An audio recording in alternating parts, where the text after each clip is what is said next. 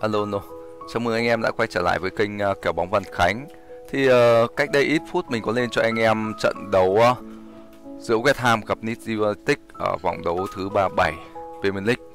Và trận đấu tiếp theo mình sẽ lên cho anh em đó là trận đấu giữa Brighton gặp uh, Southampton. Hiện tại thì uh, với uh, Southampton họ đã coi như là xuống hạng rồi nha anh em.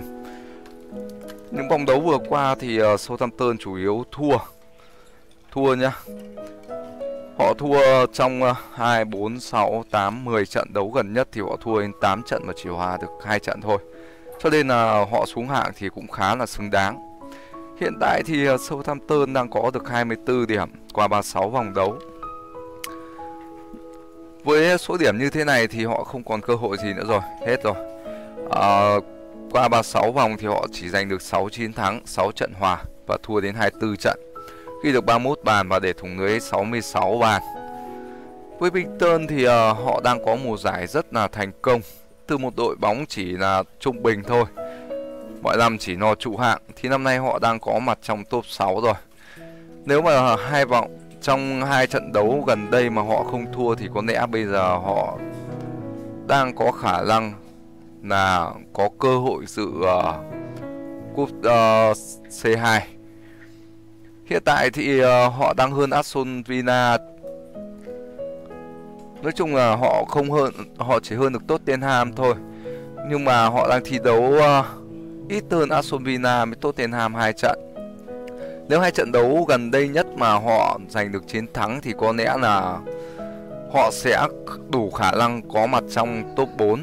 Hiện tại thì ờ, họ mới thi đấu có 35 trận thôi nha anh em. Binh Tơn thì ở mùa giải này thì ờ, thi đấu cực kỳ là hiệu quả. Hiệu quả thì nó ở cái anh em xem. Đó là số bàn thắng họ ghi được Và số bàn thua. Hiện tại họ đang có hiệu số rất là tốt Ghi được 67 bàn và để thủng lưới 49 bàn.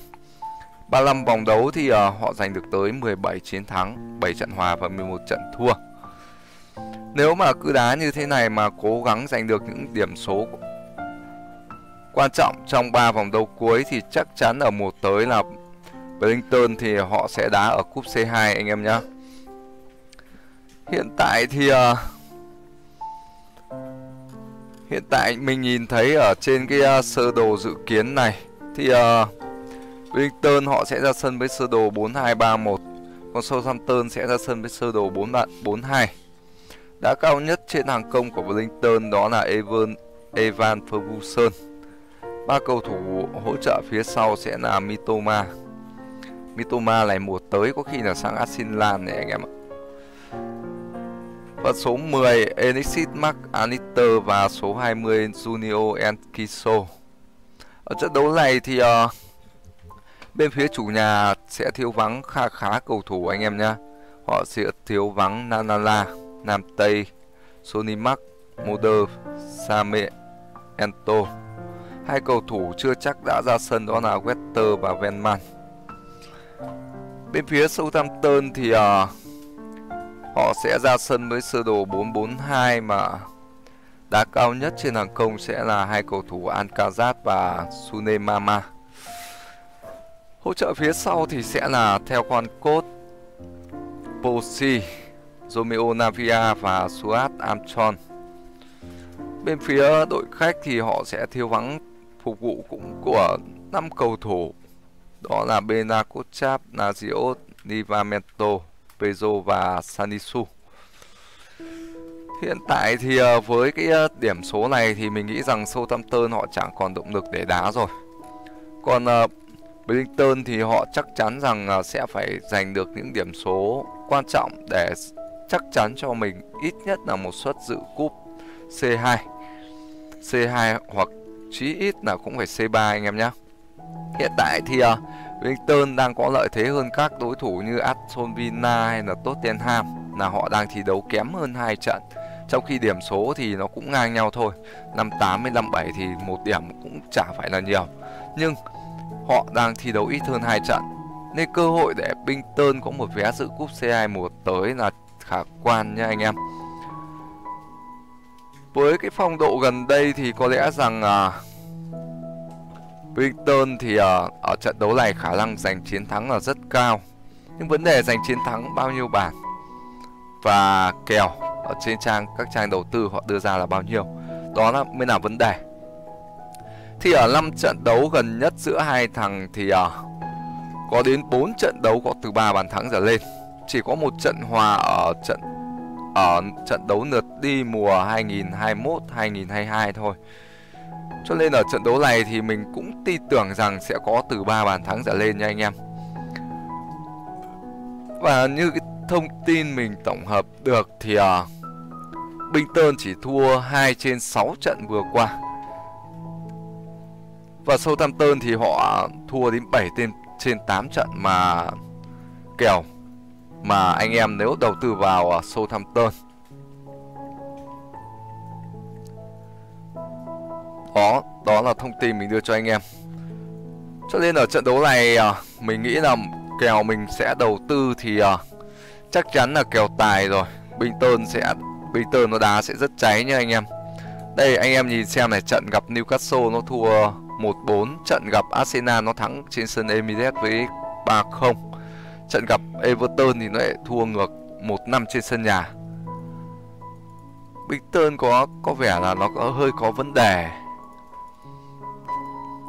Thua những trận đấu rất là dở hơi như kiểu trận gặp Everton này này. Thua ngay trên sân nhà với tỷ số 1-5 không hiểu vấn đề là gì luôn. Rồi tiếp theo thì uh, anh em hãy cùng mình đi vào cái trang mà mình đang đầu tư. Hiện tại trên trang mình đang đầu tư thì uh, họ đang đưa ra mức kèo là bình tơn chấp 2.25 bỏ 92 ăn đủ tài tài 3.75 bỏ 97 ăn đủ và xỉu thì sẽ là bỏ đủ ăn 87 tài xỉu hiệp 1 sẽ là 1,5 Hiệp 1 thì Binton sẽ chấp một hòa bỏ 91 ăn đủ anh em nhá. Anh em thấy kèo cao không ạ? Nhưng mà mình thấy cái kèo chấp 2.25 này thì là nó hơi vô lý này. Mình vẫn tin tưởng là Southampton nó sẽ đâm được một bàn. Đâu rồi, để xem lại là mấy trận đấu vừa qua Binton nó ghi được bàn không. Trừ trận thua 0-2 Fulham thì tất cả những trận đấu trước đó Southampton nó bốn trận đấu trước đó nó đều ghi được ít nhất một bàn nha anh em. Trận gặp Arsenal nó còn ghi được tới 3 bàn cơ. Trận gặp uh, Nottingham nó cũng ghi được 3 bàn. Cho nên trận đấu này mình vẫn tin tưởng là Binton nó sẽ ghi được bàn thắng Cho nên cái kèo chấp 2.25 này rất là cao và mình nghĩ là mình sẽ đầu tư vào cái cửa dưới. Đi ờ, uh, tơn được chấp 2.25 Anh em nhé Và mình sẽ đầu tư thêm kèo tài 3.75 3.75 mình nghĩ là kèo tài nó sẽ là khả năng được ăn là rất cao. Còn cái kèo hiệp 1 thì nếu mà binh tơn mà cái kèo 0.75 này ăn đủ thì anh em đi binh tơn cho mình. Mình nghĩ là binh tơn sẽ thắng hiệp 1 nhưng cả trận thì uh, Southampton sẽ ghi được bàn thắng nha anh em cho nên khả năng binh thắng 3 không trắng hoặc là 4 không trắng nó rất là thấp. Cho nên mình sẽ đầu tư vào kèo này.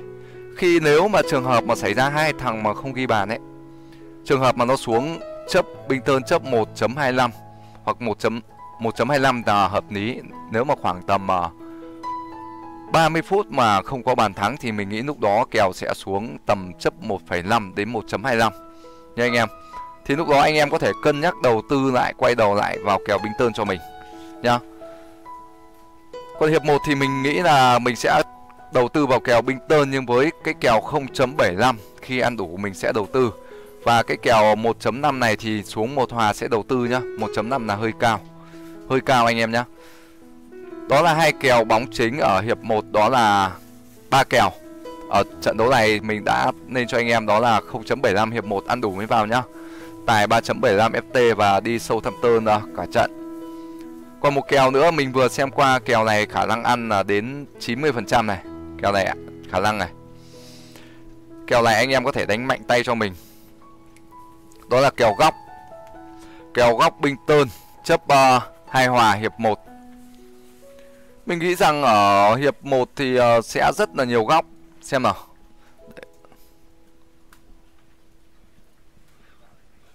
Mình nghĩ là đầu tư vào kèo ở kèo góc này mình nghĩ chỉ đánh đúng một kèo thôi mình nghĩ đánh đúng một kèo còn cái kèo tài xỉu thì mình thông tin thêm cho anh em là 4 trên 5 trận đấu gần đây ra hai đội thì ờ, chỉ có tối đa là 9 quả góc 5 trên 7 trận đấu gần nhất của Binh Tơn thì uh, kèo phạt góc thì nó là 10 hòa. Nói chung là đầu tư vào kèo 10 này thì nó hơi là hơi cao. Anh em có thể đợi xuống kèo tài chín hòa hoặc là nếu xuống kiên trì đợi xuống nữa nếu mà góc chưa lỗ thì anh em có thể đầu tư. Nhưng mà mình nghĩ cái kèo hiệp 1 4 góc này anh em nếu mà nó xuống kèo 4 hòa thì anh em đầu tư được nhá. 4,5 rất là cao. Mình ít khi đầu tư vào cái kèo 4,5 này lắm. 4,5 nhá. Còn anh em hãy đầu tư cho mình cái kèo uh, Bình Tơn chấp hai góc hiệp 1 Mạnh tay cũng được nhá Kèo này là mình sẽ đầu tư mạnh tay này rồi vậy là chốt kèo mình sẽ đầu tư.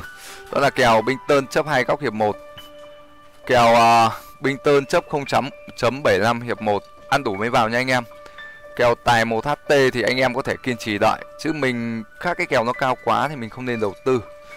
Còn kèo uh, tài 3.75 FT Mình đầu tư nhẹ nhá.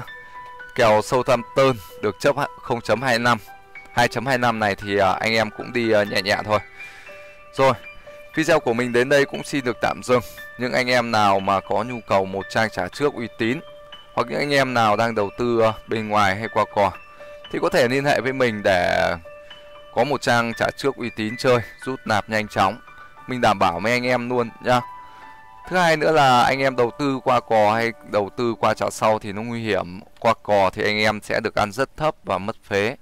Nên là anh em rất là thiệt. Và những anh em nào đã từng xem video của mình hoặc là những anh em nào xem video này thì cho mình xin một like, một đăng ký để mình lấy động lực ra nhiều video hơn. Cảm ơn anh em.